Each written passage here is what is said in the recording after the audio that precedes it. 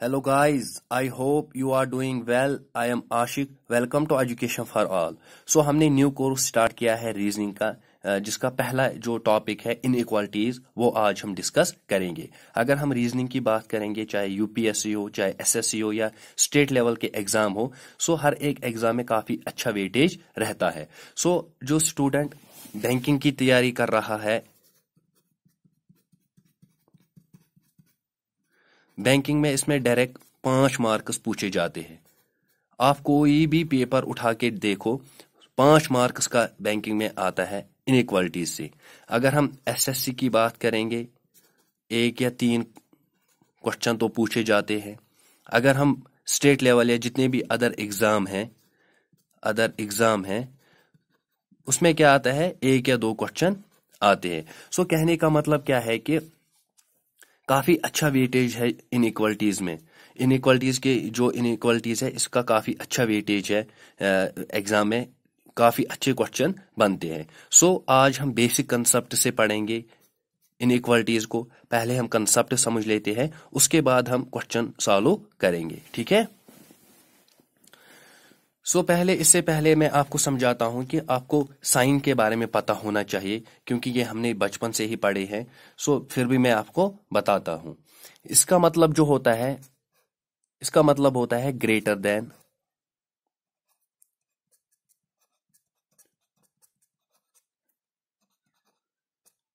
Greater than इसका मतलब होता है।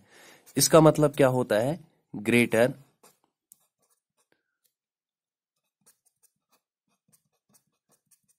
ग्रेटर और इक्वल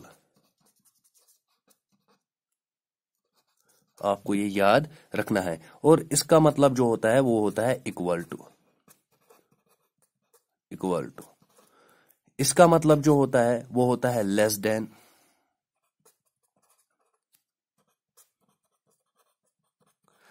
इसका मतलब होता है लेस और equal to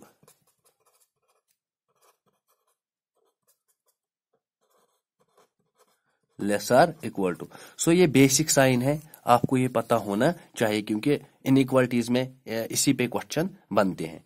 सो so, अब हम बात करते हैं इनइक्वालिटीज में।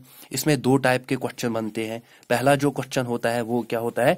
वो इक्वेशन फॉर्म में होता है।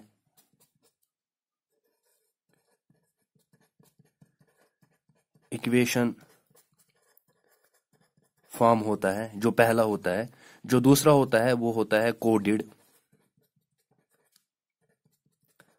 कोडेड फॉर्म में होता है। सो so, हम ये एक एक डिस्कस करेंगे इक्वेशन और कोडेड फॉर्म के बारे में। ठीक है? सो so, पहले हम जो इक्वेशन फॉर्म है उसको हम डिस्कस करेंगे कैसे इसमें क्वेश्चन बनते हैं और इसका कंसेप्ट क्या है। सो so, एग्ज़ाम में आपको बेसिकली दिया गया होगा एक स्टेटमेंट एक स्टेटमेंट दिया होगा मैं आपको एग्ज़ाम्पल से समझाता हूँ। P greater than Q equal to R less than S. So ये एक स्टेटमेंट गिवन दिया होगा पेपर में। इसके नीचे कंक्लूजन होंगे। कंक्लूजन में आपको ऑप्शन दिए होंगे। एक दो तीन चार। सो so, आपको क्या करना है कि कंक्लूजन आपको अच्छे से देखना है। उसके बाद आपको क्वेश्चन सॉल्व करना है। ठीक है? ये किसमें आता है? ये इक्वेशन फॉर्म में आता है। अगर हम कोडेड फॉर्म की बात करेंगे कोडेड फॉर्म में क्या आता है?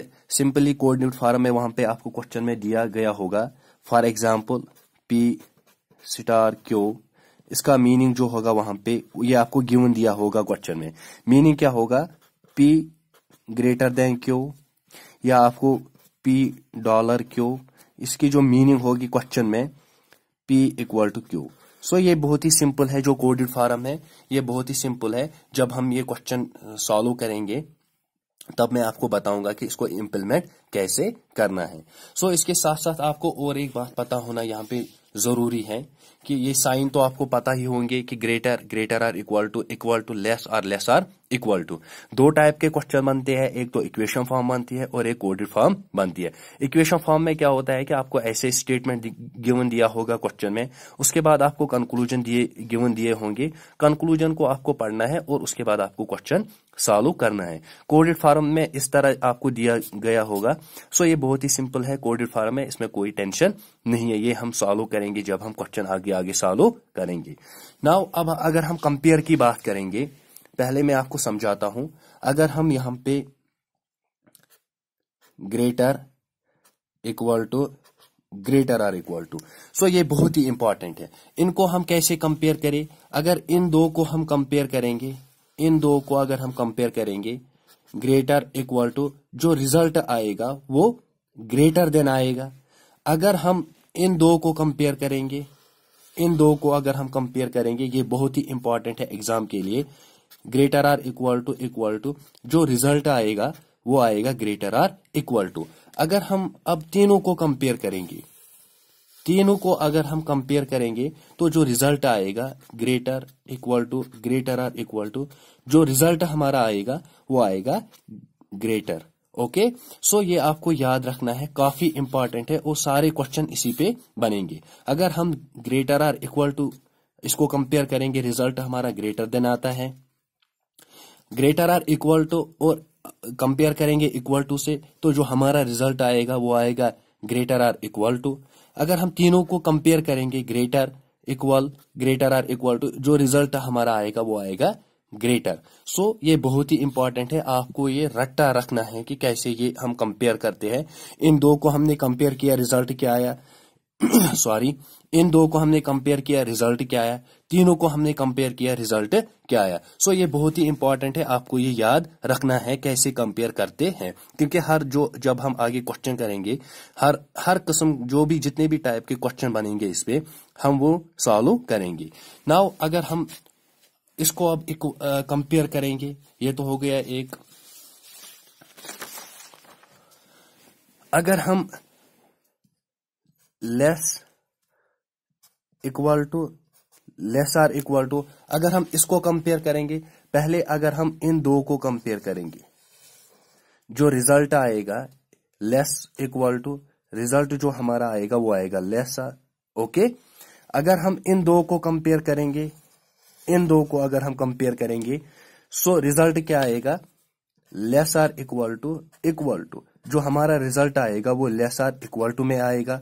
अगर हम तीनों को कंपेयर करेंगे, तीनों को अगर हम कंपेयर करेंगे less equal to less or equal to so जो रिज़ल्ट हमारा आएगा, वो आएगा less or equal to so ये बहुत ही इंपॉर्टेंट है, हम कैसे कैसे हमने इनको कंपेयर किया।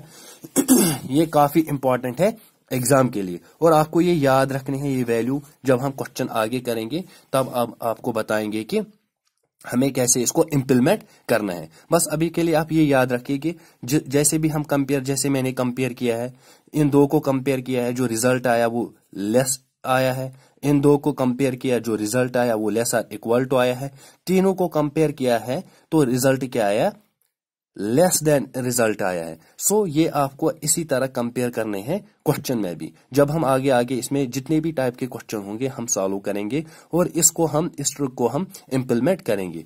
और एक बात आपको याद रखनी है यहाँ पे नोट जो अपोजिट साइन होंगे जो अपोजिट साइन होंगे वो क्या होंगे? ऑलवेज अनफॉलो होंगे। ये आपको याद रखना है। जो भी क्वेश्चन में, जो स्टेटमेंट में अन, जो अपोजिट डायरेक्शन होंगे, जिनके भी अपोजिट डायरेक्शन होंगे, वो क्या? हंड्रेड परसेंट डेफिनेटली फॉलो होंगे और वो अनफॉलो होंगे। ये आपको याद रखना है। इसमें इधर और इधर और केस भी बन जाता है उस टाइप के क्वेश्चन भी हम सॉल्व करेंगे। सो so, आप हमारे चैनल को भी सब्सक्राइब कर सकते हो ताकि जो हम वीडियो अपलोड करेंगे उसकी नोटिफिकेशन आप तक पहुंचेगी। Thank you